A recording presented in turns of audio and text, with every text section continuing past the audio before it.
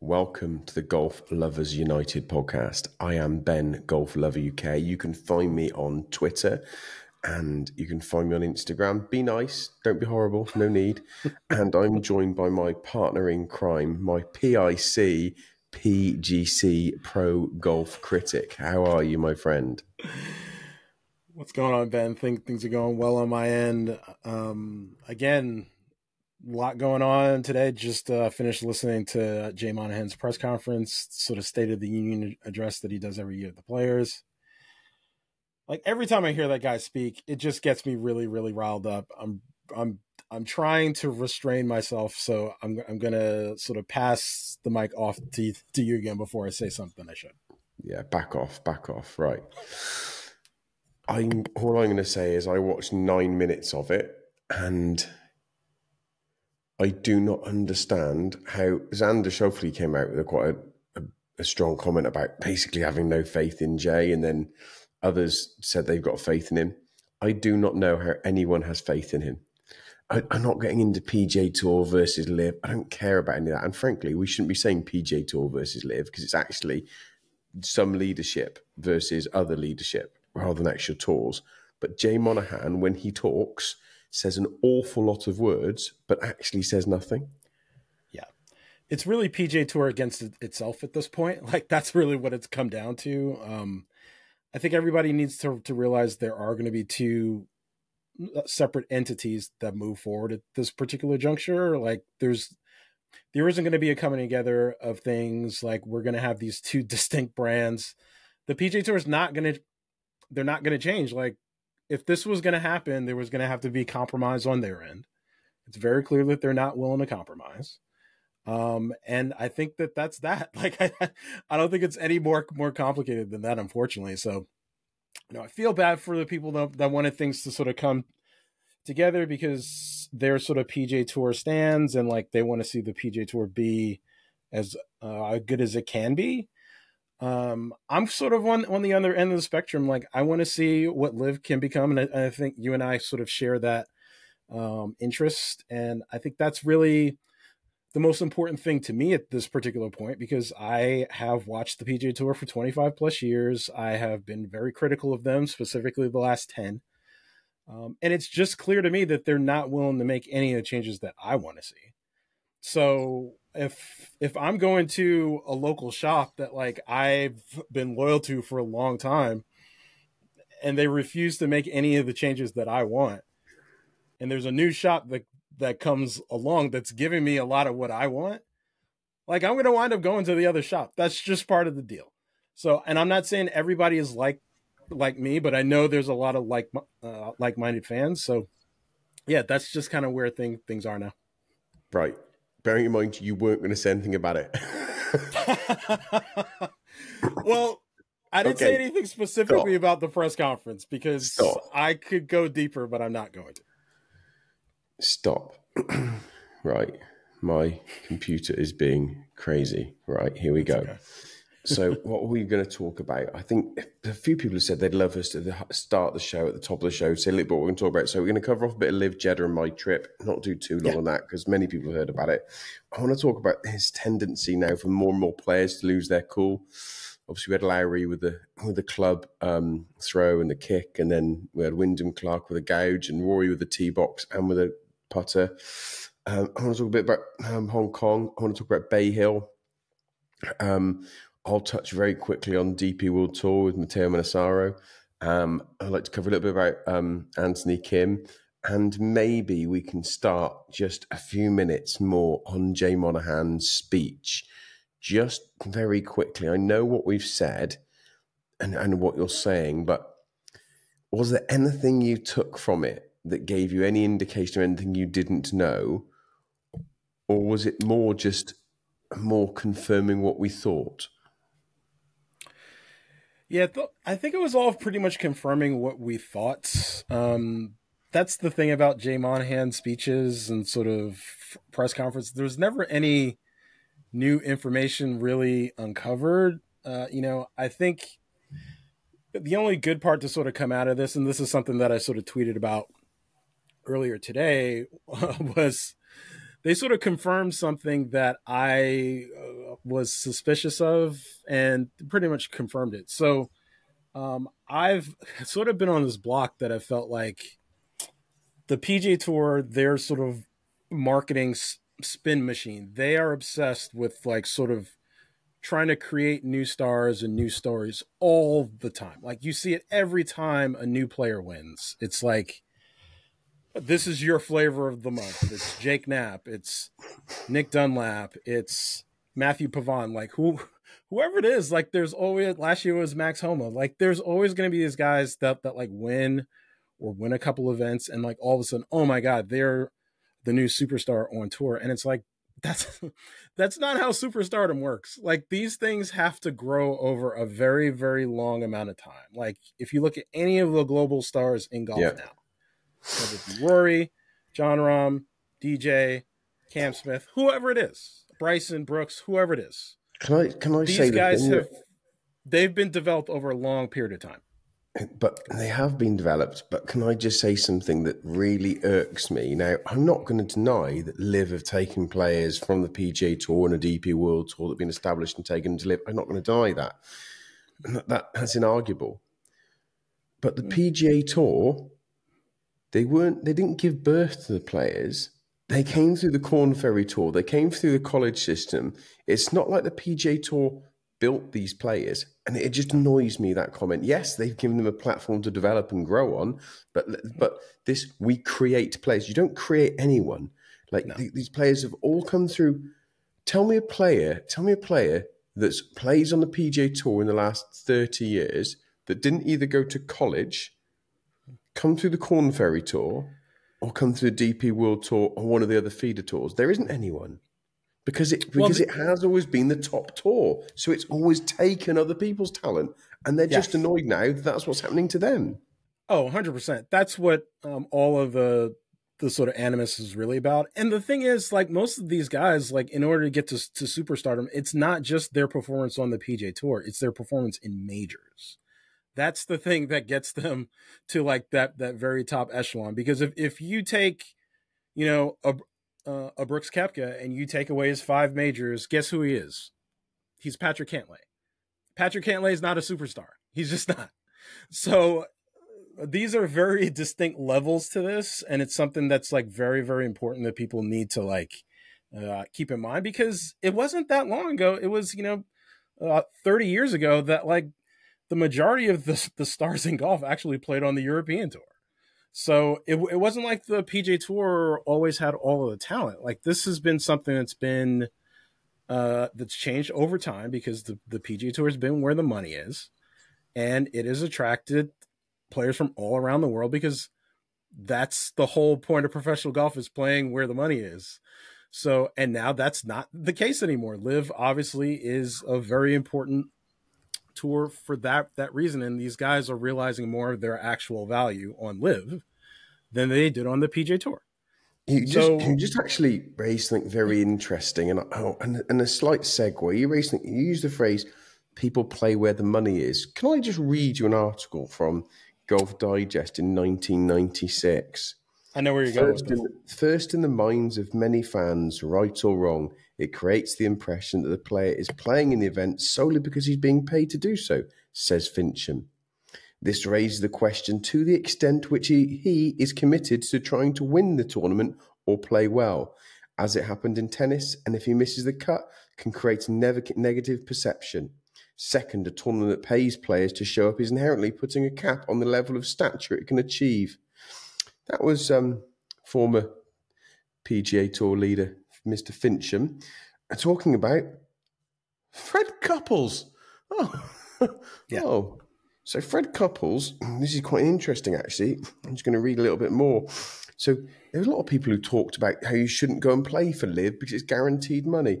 Here's some names, randomly some names that said you shouldn't play for guaranteed money in an article about being paid guaranteed money. Uh, Greg, Nick Faldo, Greg Norman, Greg Norman's not against it. Nick Faldo was quite vocal about it. He he used to be his charge was one hundred fifty thousand dollars an event. Not my words. These are the words of Golf Digest, uh, November nineteen ninety six. So if you have a problem, Go and speak to Golf Digest. Fred Couples, it's this year that his average tournament payment was 125,000. There's Jack Nicklaus was paid a 100,000. Tom Watson got paid. A few of these people have made comments about taking guaranteed money. Davis It's a bad narrative. It's Davis been a bad Lowe. narrative this whole Yeah. time. That's the thing that gets me really, really fired up is the fact that It's hypocrisy, Jay. Yeah. It's hypocrisy. It was okay for me- them. It was okay for them to take money. nothing grinds my gears more than hypocrisy. Um, it's something that has been part of this deals from the beginning. It's been part of the reason why I've gotten involved in this conversation because I've called it out from the start because I've seen it happen. And this is one of the bad talking points that's been out there from the beginning is oh, guaranteed money in golf is bad. No, it's not. It's it's literally one of the dumbest things I've ever heard in my life. Because they've all been getting all the stars have been getting some form of guaranteed money for as long as as long as pro golf has been a thing. And most most sports, tell me, does Cristiano Ronaldo not try because his salary is guaranteed? Does Lewis Hamilton drive poorly because his salary is guaranteed? It's stupid. Does Dak Prescott deliberately throw another interception in a playoff match, which we should be winning because his salary is guaranteed? They all compete with guaranteed salaries. Anyway, we're not going to talk about it. Right, let's move on because we've done it to death and it just gets in both of our tits. Right, move on. right, where are we? Um, let's talk about my trip to Jeddah. So let's do it very quickly. I've, I've done it to death. For those that haven't heard it on other podcasts, I've been on about three or four others and just not done on ours yet. I had a great opportunity to go out to LIV Jeddah. Royal Greens is a absolute bucket list course, and my, my, my, my one criticism about Royal Greens, it's only got three holes on the on the on the Red Sea. It's got 14, sorry, 15, 16, and 17. To only have three holes on the Red Sea is a travesty, but Yep. bloody hell, what are three holes, especially 15 and 16. It's an incredible course in condition like nothing you've ever played. You come, you play 10, you play 10, which is a, a lovely par four. If, if, if it can be described as anything, it's actually quite an easy par four. Hmm. You bang it up the left hand side, the wind's going to take it left to right. It's a little bit shielded because of the mounding of the ground. Right. And it's a nice, easy, accessible green. You're feeling really good. You get to hole 11, it's a 140 yard par three, playing 200 yards into the teeth of a wind, uphill to a green that's got three tiny plateaus on the actual green. The course is incredible. I, I had a great time. I met, I met so many players. I talked to, I'd said hello and spoke, spent two, three, four minutes, and so many players, players everybody knows about. I again got to, I got to chat with Bryson. I had 15 minutes chatting in one evening. Just an engaging man. To, it just he loves. If you have any doubts about Bryson's love of golf, you really need to reassess. Bryson loves golf like fish love water. It is unbelievable. His passion for golf is just it's just another level.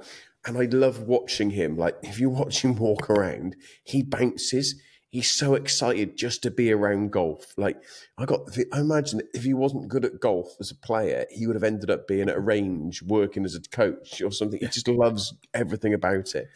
Yeah. So good to spend time with players. Um, real surprises of people I got to spend time with. I uh, Anirban Lahiri, what an amazing guy! What a great fun bloke! Um, shout out to the LIV guys who got us out, who, who got us out there, um, allowed us to be there. It was it was amazing. Um, look forward to hopefully being in Valderrama and doing LIV UK. Just really, really good time. Have you got any questions, Jay, that I've maybe not have touched on? No, I feel like we we've actually talked about Jeddah pretty much till till the cows come home. Um, I, I will say one of the biggest um, complaints that I think that you and some other folks have had is the the fact that it's not uh, the course Royal Greens isn't necessarily in Jeddah proper. It's like uh, kind of an hour away. north. Yeah, Yeah, yeah. So it's uh, in a town called King Abdullah Economic City. Um, now, me personally, and this actually is a, a great segue to Hong Kong. Um, I have an affinity for, and I men- mentioned this uh, during the Hong, Hong Kong uh, uh, broadcast for LIV, and it, w- it was actually featured on, on the LIV broadcast I, I saw. I love golf courses that are uh, sort of around a proper city. And actually, Don Boulay corrected me. He, he was like, "Well, um, Hong Kong Golf Club isn't exactly in downtown Hong Kong. It's it's kind of on the outskirts, but it doesn't matter because yeah. there's buildings around it. There's been sort of a city that's been constructed around it when you have this this great piece of property that's been there for a long time. Um, it's something about golf courses that I really like, and unfortunately, Royal Greens doesn't really have that yet. But that may happen do. at some point, it but we'll, we'll see. They, they are yeah. they are building a behemoth of a hotel. So if I'm looking at the Red Sea and I'm, I'm looking, I'm looking up. I'm on 17th green, looking at 17th tee to the to the sea. They are building a hotel that I don't know, maybe sleeps four billion people. It's absolutely massive. And I've been told that in cake, as they refer to it, King Abdullah Economic yeah. City, in cake, they are they are going to be building it up to make it a family a family destination, a bit like some parts of Dubai. They're going to be mm. putting in um, theatres and yep um, small um, a small um, theme park, things things like that. So they're yeah. going to turn it into that. And I think this, the, the, the, talking was they might put another golf course in. Hmm. But look, we we've done Jeddah to death. I just thought having not covered it on our own podcast was a little bit weird. Yeah. And the one thing I would say to anyone, if if they watch the event, is I don't think the cameras. It's not LIV's fault because it's, it's a bit like Augusta. You know, at Augusta, like first thing everyone says is the cameras don't tell you the undulations. Oh, yeah, for sure. And the level changes. I honestly, I, I having watched that Jeddah event once on the DP World Tour and twice on LIV at, at Royal mm. Greens, yeah. I thought it was relatively flat. Bloody hell! Right? No, it's yeah, it's not. Right. And, I, and, I, think sometimes you don't get that image of there. It's it's it's rolling fairways, and obviously all man made. It's it wasn't natural, but right. it, it, doesn't come across. And I wondered just how many courses that is the case for. And, and I think when I watched Hong Kong, and we'll go to Hong Kong now. I think having been to Jeddah and conscious of how the undulations and the elevation changes were there. I think I was trying to look for it at Hong Kong, and I wonder if because I was looking for it, I saw more of it at Hong Kong. Because it feels like Hong Kong's got a lot of elevation change. Yeah, well, some some of that is some of the camera angles too, and sort of like their where signature holes is number three, which is the downhill par five. That like you've got the the city view in the background. It goes it plays, you know, 60, 70 feet downhill. You get to see the entire fairway from the tee. Uh, things like like that, you're um, it's a lot easier to sort of see those elevation changes. But there's other holes where you couldn't really tell, and it's all um, it's just so hard uh, for cameras to do it justice unless they're properly positioned and, and really show the whole thing. Which is where some of those those drone shots can help too.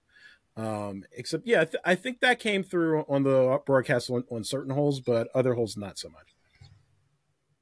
So let's talk about very quickly the winner in Hong Kong. The winner in winner in uh, Jeddah was um, Niemann.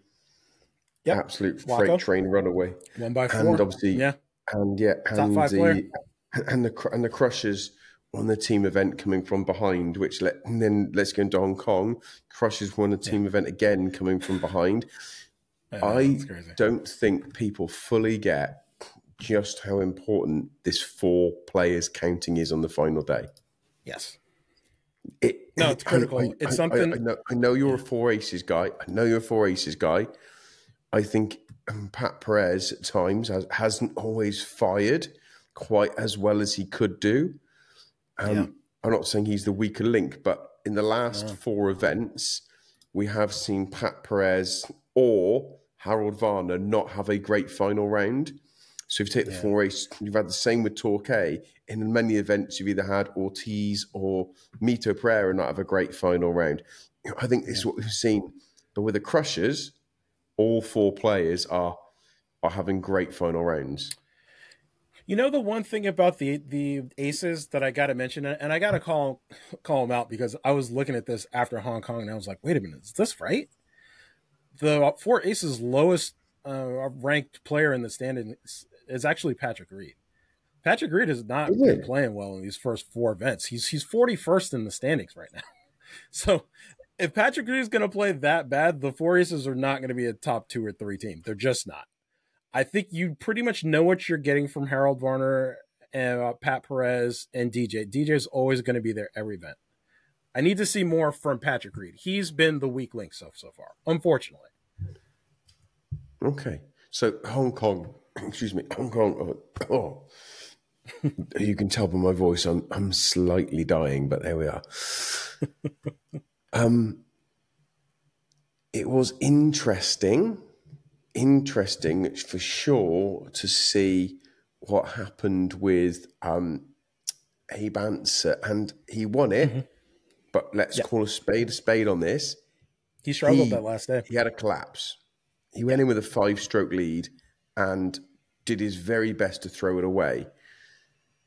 I actually think that the best thing that happened for him was that he got to that playoff. I know it sounds daft because if he didn't get to the playoff, then obviously he doesn't have a chance to win. But one point I'm trying to make is that I'm talking for the rest of the season because I think if he had just faltered, he could have. these things do affect you. You do get muscle memory. You do get scar tissue.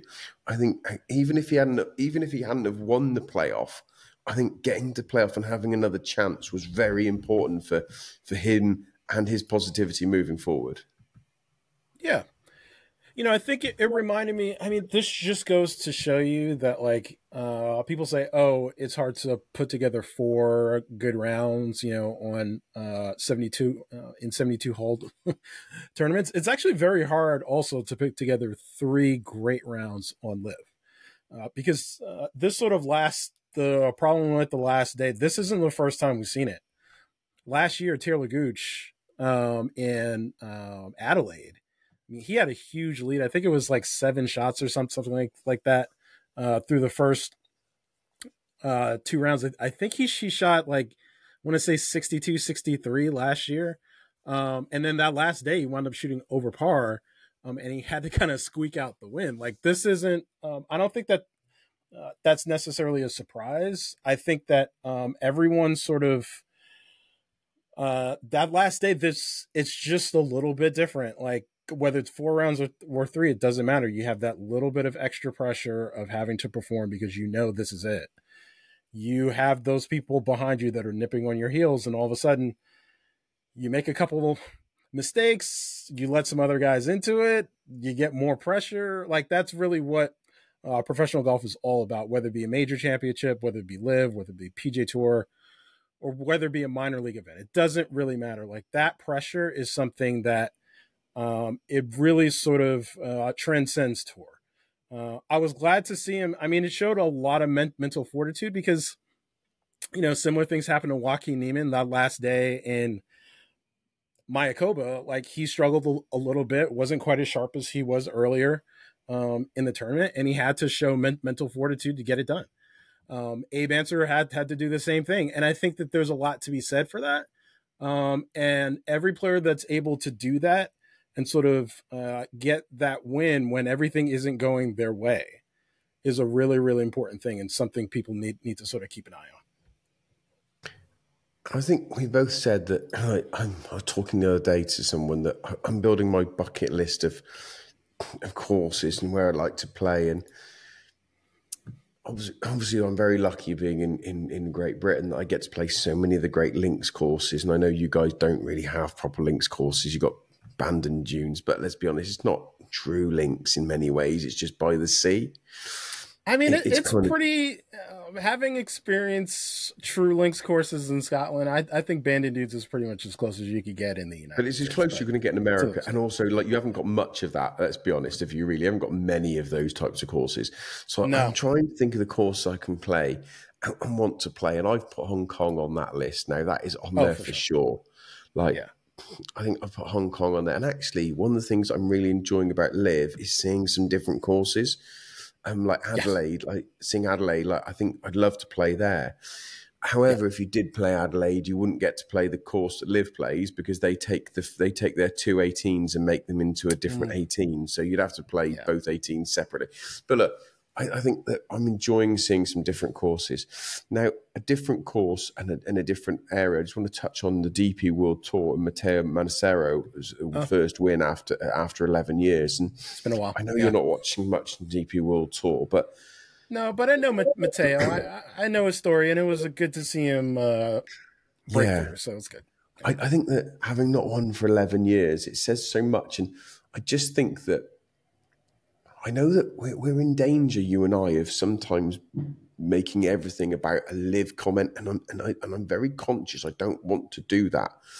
But yeah. what annoys me is when I saw some of the comments about Ian Poulter and about GMAC playing well, about Stenson playing well, having said they're washed up, right? Yeah, of course. And then when Matteo Manassero wins after 11 years and he's an older player, it's somehow treated differently. And like for me, if you win a golf tournament or you play well in a golf tournament, it's great. Well done. And I, I am absolutely delighted that Matteo hadn't won for 11 years. And, and all the comments you see from all the old European golfers, like European golfers, I say old, anyone sort of 35 to 50 who, who played with him when he was a younger man or, or played with him just after they joined, everyone to a man is absolutely delighted he won. Just over sure. the moon. Yeah, just because I think whenever you have someone that is a someone people see as being like a young star player that like because uh, he was very highly regarded you know 10 11 years, years ago when he won the bmw pga as a I forget how, how old he was but he, he was very young. He was in his like 24 25 was he? Some, something like that. Maybe even yeah. uh, younger than that but uh, yeah, like he had a lot of potential. Like I heard a lot of people, you know, back then comparing him to like Rory and like other really great European players. And I, yeah, he had the big Sergio comparison, didn't he? Mm, yeah, Sergio Sergio's another one. Yeah, yeah. Like he he's a great he was a great player sort of early on, and it's just part of the deal. Sometimes like you lose it, um, except it's always in there. Like you just have to. It's all a matter of if you can rediscover it. Just like we're we're seeing, it's a great segue uh, talking about Anthony Kim. Like Anthony Kim's kind of the same uh, same way. I actually heard, you know, Colt Knost was, was actually talking about this on uh, Flushing It's uh, podcast.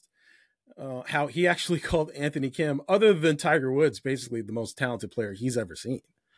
So whenever you have anyone saying that about you, like that means that you've got something else in there. Um, I've heard similar things about Matteo when he was younger that he was like really really talented. I never really uh, followed him that closely and can't really say if uh, I don't think he's quite at that level of like one of the like like a generational talent, but I think he's a very very good player and he's always had this potential to do well. Um, I'd love to see this sort of springboard him into doing more things. And, uh, you know, the way things are going, maybe um, Italy seems like a good market that maybe LIV wants to get into. Like Matteo might be a good target for LIV if, if he can continues his progress. So we'll we'll have to see how that how that goes. But it, it was it was good to see that. And I, I was looking down the DP World Tour list, and and I'm just gonna I'm just gonna pull him up. Um, yeah on, on, on the system. So a guy called Jordan Smith um, finished yep. in second place, and I wanted just to. He's good. And I wanted to touch on Jordan Smith and, and, and, and what's going on with him at the moment in DP World Tour because actually it's very very enlightening. Um, Jordan may be surprised here is talking about him, but I want, the reason I'm talking about him is I want to talk about what it's like to be a professional golfer. And Jordan's having a kind of a good year in some ways.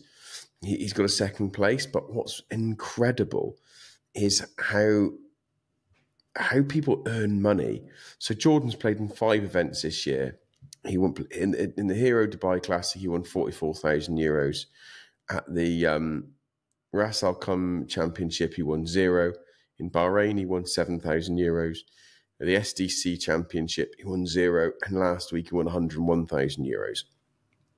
So people people here see that big 101,000. But let's say he'd finished 10th, he would have maybe got 40,000, 45,000.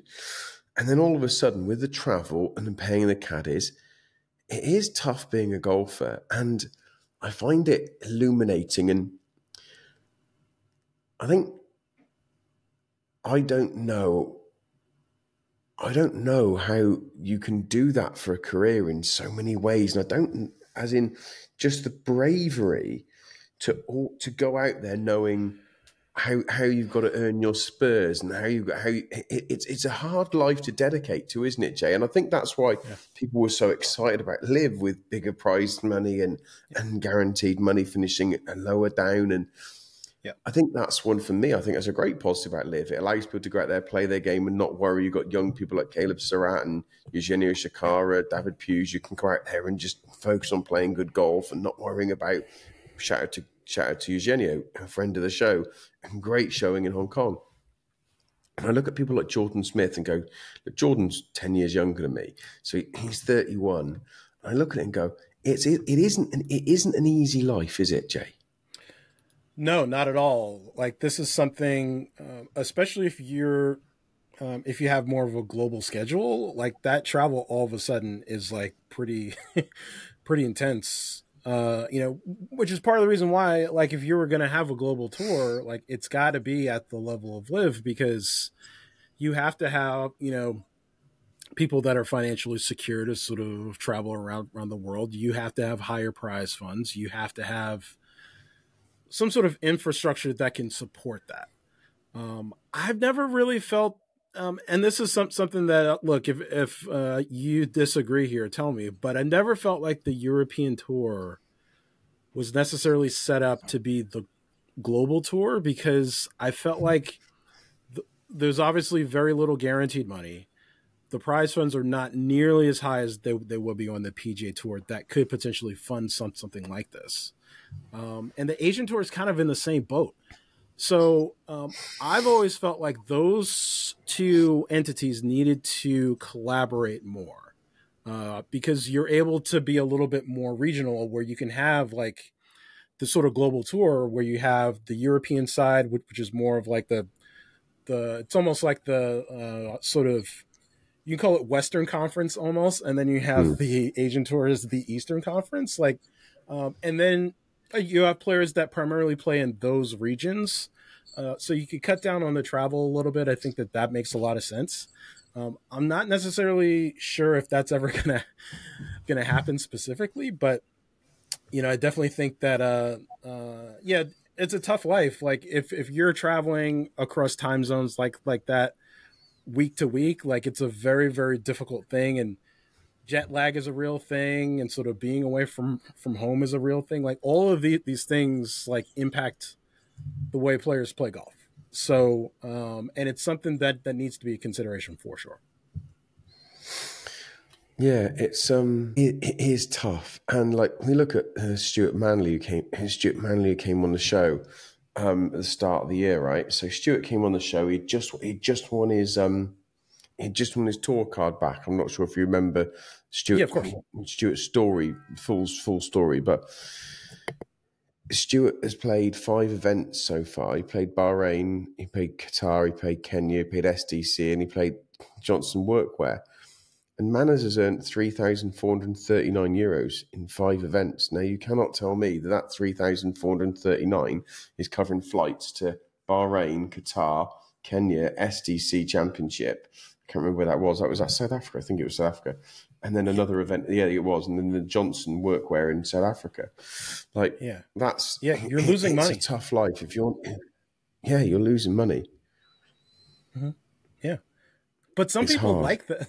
Like some, some of the, these folks out there, they love that fact that oh, you can actually playing a professional sport, you can like lose money. And I'm like, I don't me personally, I want to know that like if I'm watching an event, uh, that these guys are being they're actually being paid to show up. Number one, it's a big one. Uh, because if you you miss a cut, you don't get any money. Like that's like I've always had a big problem with that because they are providing entertainment, they're providing value to that event, and they're not necessarily getting anything out of it. So I just, um, I just looked, and Manners, Manners has won 10,000, 9,000 euros from ten events. It's it's a tough it's a tough life. I really hope Manners can can turn that that form round and, and start to cash some checks because he's a good bloke. that point you made there about about um, players providing entertainment. Now we know why the PGA Tour have done it. We know why the PGA Tour. Sorry, excuse me. I've got a dreadful cold. Excuse me, everybody. I, I'm sorry. Coughing and spluttering everywhere. We know why the PGA Tour have done that. They've given the guaranteed stipend of five hundred thousand, and then you take gets taken off your winnings. And we know why they've done it, but I'm not going to. I don't care that they've done it in reaction to LIV. I'm just really happy they've done it. I'm really happy they've done it, and I'd love to see the European Tour say, "Here's a hundred thousand pound for everyone who's got a European Tour card, just a stipend of hundred grand, and we'll take it out of your winnings." I think they've, they've started doing that. Providing it. Yeah, I think they. I think they said. I can't remember the dollar value. I think it was maybe one hundred fifty thousand. European Tour have done that, have they? If they've done that, I've missed that. I'm, i know we know they've I'm done pretty it sure they did. Tour, but I don't. I don't think they did on the DP World Tour. I think they did. I think they did. We can ver- verify, but uh, I, I think it was a, again, a reaction, a domino effect to oh, the PGA Tour is doing this thing, DP World Tour has to do it, do it too. I think that that uh, just got instituted this past year, or or maybe it's for the for the future. I'm not sure, but I'm pretty sure you're right. So DP World Tour has announced a record prize fund. Da, da, da, da, da. The DP World Tour will guarantee 150,000 next season in later response. A new earnings program will see exempt players receive money if they play a minimum of 15 events. So if you play 15 events, you will get $150,000 in the same way as a stipend for your winnings to come out of. Okay, so I feel yeah. less bad for Manners, and I feel less yeah. bad for anyone else who's not winning money. So at, le- at least, at least, at least they're covering their costs.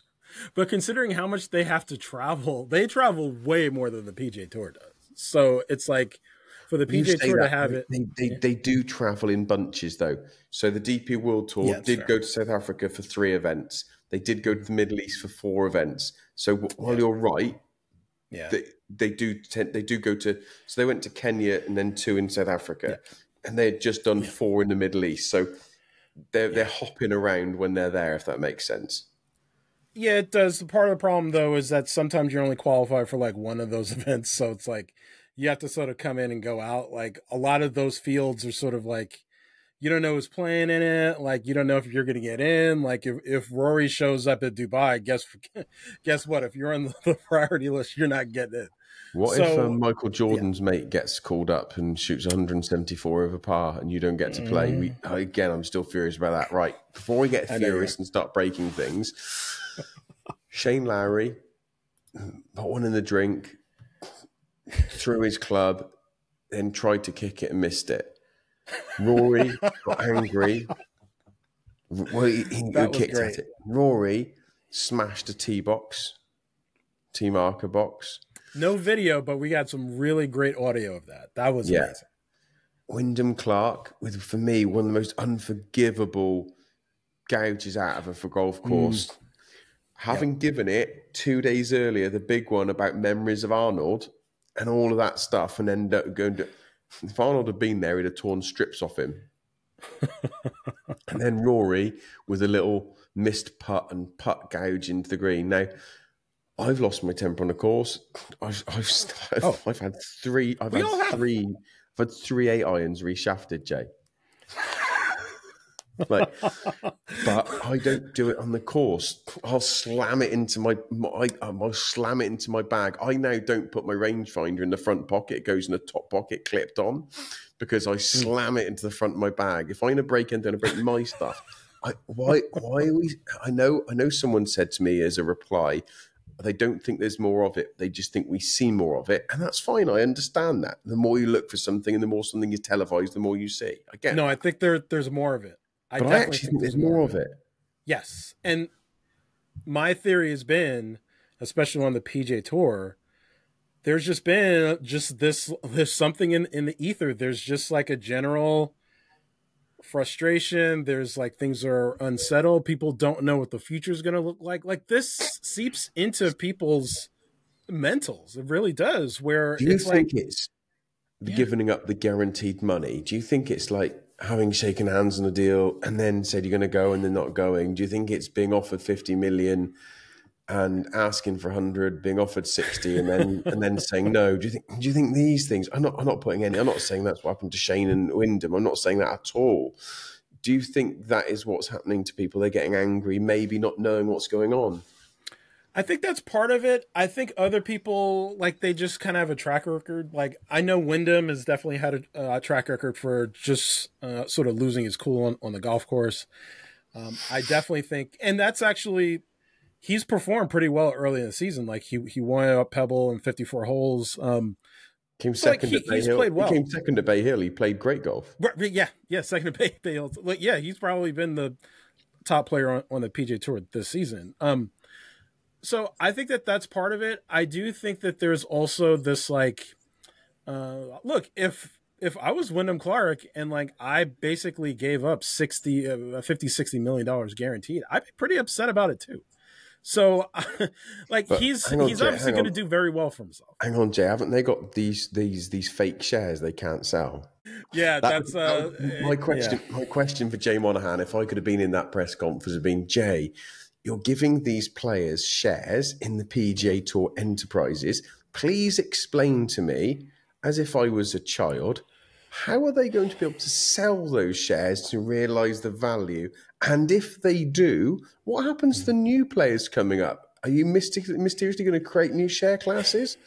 Uh, he wouldn't have been able to answer it because we know it's no, a farce. No, he he would give the usual Jay Monahan def- deflection that I've gotten very very used to. Um, and he probably does doesn't have the answer to that question anyway. But there's just too many mouths to feed at the PGA Tour. Like that's it's always been part of the problem with how that whole structure is set up. Like they're they are not really set up to properly compensate the top players, which is no. the whole reason why LIV Golf even came about. It's the whole reason why the PGL was a thing, and that started to come into the ether ten years ago. Like yeah. these are things. It, it's something Phil and Tiger have been talking about for as long as I can re- remember. It's something that like even going back to like Greg Norman and like Arnold Palmer and Jack Nicklaus before that. Like this has all been coming. Like these top guys needed to realize more of their value. They're finally starting to do that. The establishment is pissed. They hate the fact that they're getting this money, which is part of the reason why they've been so like trying to to to box them out at like every turn. So, um, and I think that we're getting to a point, hopefully, where people just accept that this is the new way that it is. And if you want to be part of that class of player, there's one place to be part of that class of player where you're going to be properly compensated for the value that you bring. And then there's another one that's totally the model's more old school meritocracy, you know, legacy and tradition, all that crap that we've heard for many, many years from, from the PGA Tour. That's fine. I don't have any problem with that. But his it's legacy just a totally and, different concept. His legacy and tradition, gouging out massive holes in the fairway and smashing tee boxes. I'm just checking. I, I look up legacy and tradition in the dictionary, and I don't get a picture of people gouging fairway be. pieces. There's definitely people that have been doing that for a while, but uh, that is where having more cameras on the course 100% uh, catches that. There's definitely been players that have had really, really bad a- attitudes. Even my, my, uh, my even though I, I, love him to death, Sergio Garcia is one of the worst. Yeah, Sergio, and, I, will call out when Sergio did. So I yeah. I cannot find any where Hatton broke that putter. I, I watched I watched seven holes and they they had played. I watched seven holes he had played to see if I could find him on the catch up cam, see what happened to that putter. so I'm thinking he broke it on a bag, not on the ground. Now, probably. I just want to say something. My favourite comment that post I put up about um, about Wyndham smashing the ground and it just went went viral, like five hundred thousand views, something ridiculous. And um, my favourite reply was, "Poor old Wyndham. Imagine actually having a shot shown on the PGA Tour." it's normally adverts. yeah, that's true. He got really, he got really unlucky not to be on a commercial break. Yeah, yeah. They, I'm, I'm shocked they didn't cut away to like another commercial immediately. That would that would have been you know that would have saved him a little bit of a, a little bit of issues, but. No. So bad, we're, we're now on. Let's just talk about what I'm calling the PGA Tour's big problem, and I don't mean the tour; I mean the players. Scottie Scheffler, 16 out of 16 out of 16 putts inside of 15 feet. as an all as an apparently it's an all time PGA Tour record. Now. I I when they, when I see these records, or someone someone else say it wasn't a PGA Tour record because of an opposing opposing whatever. There was a few things that said it wasn't. But regardless of whether it was an all time record or it was one of the two all time records, 16 yep. out of 16 putts inside of 15 feet is absolutely incredible. Yeah. He knows those greens really well. He's won there before. He has confidence there. That means a lot. Um, I think that he, uh, like, I've had this conversation with a lot of people the last, you know, probably year, thinking that he had the yips with with the putter. I didn't think it it had anything. It, it wasn't a mental problem. It it was a physical problem where his putter. I mean, sometimes you you just get so uh, comfortable with a putter you're not lined up properly like you're i could tell his uh, feet and his shoulders were never really aligned to where they needed to be. It was always off a little bit. So it makes it really hard to start the ball even if you have the read right. It makes it very hard to actually start the ball on line and have it go where you want it to go. So that was a really big issue for him and rory suggested about a month ago he's like yeah Scottie Scheffler needs needs to go to a mallet putter. Rory's going to this the same TaylorMade Spider X putter that I have also used. It's a great putter. I will say that. Shout out to TaylorMade. Um, no it's free not. ads though. So it's not. but but it is a great putter. It is a great not. putter, especially I, for someone that's struggling. It. I've used it and I find it's got like a soft feel to it that I don't like. So yeah. for me, it's not a great putter. Some no. people quite like that soft feel. Yes. I, I, I, like a bit of response in the hands which is mm. why I got rid of my Odyssey, and now yeah. I've moved. I know I've moved to the milled face one that I've got. But yeah, everyone everyone's different, aren't they, on that putter feel? Yeah, because he uh, he had a milled face putter for a long time. Sometimes it just takes. You gotta you gotta try something different. Like if you're struggling with your putter, that's why there's so many so many grips. There's so there's the claw grip. There's uh the sort of left hand low like there's standard grips there's the big grips there's the thin ones there's all sorts of things you can do if you're struggling with your putting the most important thing is you have to keep an open mind to it if you're struggling and you have to be you have to be willing to try other things scottie finally tried something new and voila like he's all of a sudden he became the best putter on the PGA tour almost overnight so I think that there's always things that people need to keep in mind. They, I know people get loyal to like certain putters. Like obviously, Tigers have been loyal to Scotty Cameron for a long time. Um, I've been on the block that he needed to get rid of that putter a long time ago. As you get older, you need something with a little bit more weight to it. Um, that's just sort of my perspective. Like I will always advise people to try new things. So yeah, I'm, I'm glad that he did it. I'm glad that he's playing well it's a good time of year for him to start playing well and putting well. We'll have to see how long, uh, if this is just like a honeymoon period or if it actually has staying power, because that's the one question. You can always have a good putting week here and there, even if you're a bad putter. The question is, is this going to, is he going to be able to maintain it for the season? And I put up a post yesterday. So obviously he's had one win this season, over under 5.5 for the year. I think that's high. I think that's really high. I I think he can get to three or four. I think getting to six is like is like a whole nother category. Like I mean, look, we are looking at a and people hate it when I say this, but yeah, we are looking at a diluted PGA. It, it, it, it yeah. is in, a, in arguably a weaker PGA Tour field. Yeah, for sure, for sure. Which, which is part of the reason why uh, it's possible um, I still think that, uh, like, we just have to see if this is something that uh, he's going to be able to maintain or not. Because if he's not able to main, maintain this, like, uh, it was just a good week. It was a, a place there was one yeah, in the past where he has confidence. Out, yeah, if he comes out and runs seven by and leaves four short in the first eleven holes, then yeah, we're, we're, we're back. We're back onto Scottie's got issues with the putter. Right, last and not least is the return of Anthony Kim. So it's been confirmed that Anthony Kim has not had his clubs fitted. And I actually heard Crazy. something I thought I heard something was was amazing, and, and I really loved this. And there's no absolutely no criticism in what I'm about to say. It's actually admiration and love for what's going on. It was like someone had frozen and thawed out a man from 500 years ago who saw technology Yeah. because he, he didn't know about TrackMan. Yeah. He was had no he- had no idea about the club, the new club fitting technology. Yeah, he was like unfrozen caveman golfer for sure. Yeah, Yeah. It, was it was absolutely absolutely amazing. Like, and I, and I actually think that was really quite sweet. And and he's now going to get fit and um, fit for clubs that he's, he's so he's playing in Macau. Wants to Yep. grind his game a bit more and get his game a bit better. And I think that's fantastic. And then the idea it. is he's the idea is he gets back to America. Obviously, they got Doral in two weeks' time. Was it three weeks' time? Two weeks. Three time. weeks. Three weeks. Got Doral in three weeks, so he's got time to get fit. And I want people. I said in my interview with Chris McKee, that's that's, that's knocking around somewhere now, that I only spent I spent fifteen seconds maximum, maybe twelve seconds with him. I was introduced to him, said hello, how are you? And said hello to him, and I said best of luck, and he said thank you so much. And he was just really nice. And it seems like everything about him is about family, with his family being present, and his friend on the bag and that's great. He's comfortable with his friend on the bag. But does he now need a real and real caddy? I don't mean that. A different, I'm not being rude.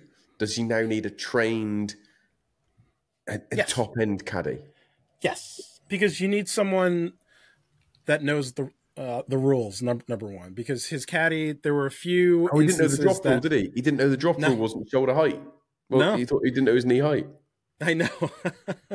it's things like like that. There, there's also the fact that if he had a, a professional caddy, like there were uh, several times, especially in Jeddah, where he could have gotten TIO relief. Um, if he had an experienced caddy, The one, he, the one he had to lace through the trees and sling it and sling it around the around the Yeah. TV tower. he could have easily gotten relief and not have it. he didn't have to hit that. He could have gone like six clubs to the right and not been in the trees. Yes, exactly, exactly. Which is like a good caddy can uh, can easily save you two, three shots around, and I think that's the difference between him, you know, finishing in last place and sort of finishing in the middle of the pack. I think that his talent is clearly there. I think that his putting hasn't left has- hasn't left him after 12 years. Like that's the one thing that's been pretty impressive. Like his short putting, like he's missed like one or two here, here or there, but overall he saved a lot of pars from really bad spots. Uh, because he's he's been really dialed from that six to twelve foot range, which is like critical. So if he starts to like raise the other levels of his game, like he gets properly fitted, um, he starts getting comfortable with his equipment, which is a very important thing. Um, and you couple that with, uh, you know, maybe one of the best putters of the last 15 years. Like, I mean, I think you could see some interesting stuff from Anthony Kim towards the, the back half of the season. So I wouldn't be surprised if he had, you know, like a couple top tens or like, you know, top 15s or something. And I'll also, the last thing I'll say on the Anthony Kim thing is that he's obviously been through some things. Oh, for sure. And that's, No. that's going to come out. Yeah, At is. some point. And, there's, there's lots of rumours and lots of people making comments about his appearance and this, that, and the other. And I find it so utterly classless. Yeah. We all have different lives we lead and things we go through. And I am amazed every day at the nastiness of social media and the horrible comments about people's appearance and about saying this has happened to them, this has happened to them. And I just don't know where the kindness has gone, Jay. And it really pisses me off because these people, they wouldn't say it to their face. They No, of say course they not. would. They say they would, No. but they they'd have a, they'd have a ball out, a glove out, and a pen asking for an autograph. And That's I, why- and I find this faceless anger and bullying so pathetic. It's just horrible. Just be nice. You might not like AK playing on LIV. I don't care. There's no reason to be nasty. And Jay, he's going to tell his story. Yeah. And it's going to be Yeah. good to hear. But let him tell his story when he wants to tell it. Yeah. Except this is this is also part of the reason why I've been very adamant about about this. Which is part of the reason why I've again tried to stop responding to as many haters as I can. Because a lot of this sentiment is not real. A lot of this stuff on Twitter, like these really nasty opinions and such, they're just not real. They're, I mean, a lot of them are fake, the fake accounts. A lot of them are troll accounts. Uh, it very rarely comes from accounts that are sort of um, have names and faces attached to them. They specifically log on to these these platforms to be nasty, so that they can get out some of these frustrations from uh, their normal lives that that may not be that great. So, and it's a realization that I've come to over the courses of time, which is totally fine. Like as we've become a little bit more uh, sort of public figures, like it's something that we have to be prepared for, um, and it's definitely something that I've seen. Um, and except, like I said, you have to take a lot of this with with a grain of salt. Uh, people are going to be mean. People are going to be nasty. Uh, there's never really any uh, excuse for it. Like as as much as I've gone hard after people, like I've never um, it's just not something that like interests me to be that uh, sort of cruel or sort of mean spirited because it's just not. Um, it isn't necessary. So it's something that I've uh, obviously taken a step back from, and it's something that I think everybody like, else needs to keep that perspective. Sorry, I talked over you. Sorry, mate. If we want to have fun, That's... I could read some. I could read some of the comments from some that I that I've received recently. Uh, some of these are great. Um, fat, bold, ugly prick. That was a nice one. Um, you're ugly and have never had a woman. That's a lovely one. What's wrong with your face? This isn't. This is about me. I know this is amusing me. no woman's ever slept with you. Like, it, like it's bizarre. It's absolutely, honestly, it's it's thoroughly bizarre. It's ridiculous. Um, you're just a little child. What's wrong with you? You're a pussy. You're pathetic. So is your face. this is one of my favorite. You're a failed golf pro. Go get better. Never try to be a golf pro. You're a moron. Like, honestly, that's that's just some of the stuff I get because, wow. and that, that was because I said I thought Wyndham Clark was wrong for smashing a club into the ground. Like, that's just that's just some of them, and I, I just. Uh it just I don't get it. Like, why are you? Why are people so angry? Oh, one of my favorites. I can't quite. I can't. I'm not to find. I can't quite remember. Which was, mm-hmm. have you given up your job because you're never going to make money with 300 YouTube, 302 YouTube followers? I think I saw that one. I, or it might be the same one commenting on on my stuff too. Yeah. yeah. And, I, and I wrote back saying, "Thanks for subscribing and, and and joining in the algorithm." He said every penny helps pathetic weasels like you. I'm like, what is wrong with people? Like, mm-hmm. I don't like coffee, right? I hate coffee. I think it tastes vile. I've never gone onto a coffee supporters page and written, you are pathetic, you're ugly for liking coffee. What's wrong with people? Here, here's what I want want you to do though. We need to start track because this is something that I that I did in 2022.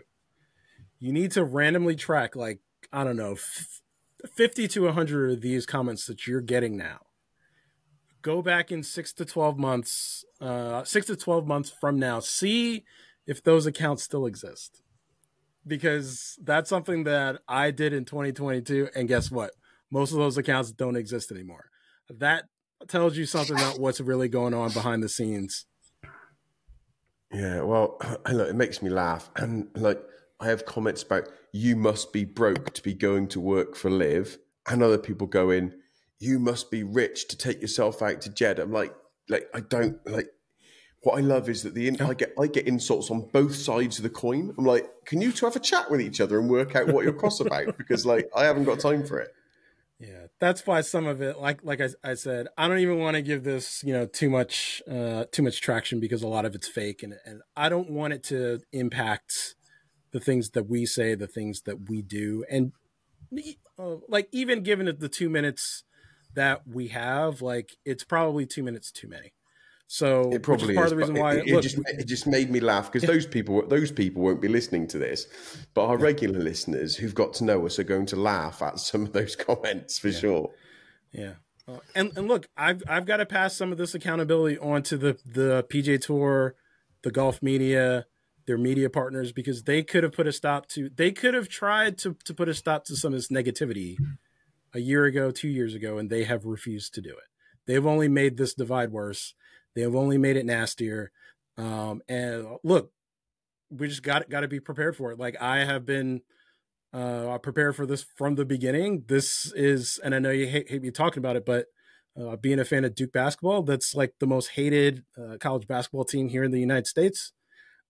I've had to hear this for 20 years, even from family members that that want to like like come at come at me with you know negativity, and it's like that's only made me stronger.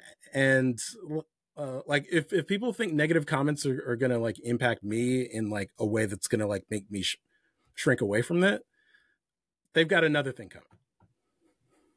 But let let's call it let's call it quits there because I need to go to bed. Um, all I'll say is I would like some of the insults to be consistent. I get accused of being a lefty. I get accused of being a righty. I think they mean politically not handed. Um, but it, it's just so funny. Look, ladies and gentlemen, thank you so much for listening to Jay and I and for indulging our five minute moan at the end there. And I look forward to seeing the comments on the YouTube to this because I'm sure that some people have weighed in with some very funny insults. Um, I'd rather you didn't, but if you do, that's entirely up to you. but thank you, everybody, uh, for your time. Um, really sad that Mark couldn't be with us today. He's got a big issue with his car, and it meant he can't join us. He is very he he is the heartbeat of this show. You get to see Jay and I and our pretty faces. Well, my ugly, pathetic one, and Jay's other ugly one. But um, without Mark, this show wouldn't exist. So it, it's it's a big shout out to Mark and all he does. And on that we are desperately trying to keep raising money to pay for a product producer to help take some of that work off of mark. So if you want to support the show or you'd like to be a sponsor, please head over to glugc.com forward slash support. And you have got the ability to sign up to our members and friends page. You can you can down you can donate either a one-off donation or ten dollars a month And we have we have two sponsorship packages up there. One at two hundred and fifty a month, or is it two hundred, and the other at five hundred a month for different sponsorship packages. Look, we'd love to get some more sponsors on board, um, to get another sorry, get another sponsor on board, and to get some more members because that helps alleviate the workload for Mark and for myself and for Jay in trying to put this show together. Because while we've recorded for an hour and two minutes and eleven seconds now, there is about six other hours after this that goes into it and yep. if we can help raise a bit of money, help fund the show a little bit, that'll allow some of that strain to be taken away and maybe us produce some more content. We've got some great ideas, but there's only so much time we've got to edit. And if we can get some more money in for editing, then we'll be able to bring you more content. So if you yep. would like to either join, be a friend, be a supporter, or be a sponsor, let us know. The other thing um, I want to add on to uh, to that. Anybody watching this on YouTube, make sure to like this, subscribe it. I know I sound like a YouTuber saying that, but it is important. Um, and then also, if you're listening, uh, even if you're not listening to this, if you're watching this on YouTube, go on Spotify, go on Apple, leave a five star review, leave a comment, positive comment. Um, I personally have a lot of haters that have instead of reviewing our podcast, they uh, review me like it's some sort of social credit thing. So that was my favorite um, one. That was my favorite one. One star review. Jay's dreadful. I don't like him. Okay. oh, that wasn't. Yeah, there, there's definitely some others. So we need to sort of drown that that out. We need to sort of pump up the um, algorithm here. You guys can can certainly help help that. Go on Spotify, go on Apple, give us five stars. Subscribe to the channel on YouTube. Like this video. It'll definitely help us out too. And that's it. Good night. Take care. Goodbye.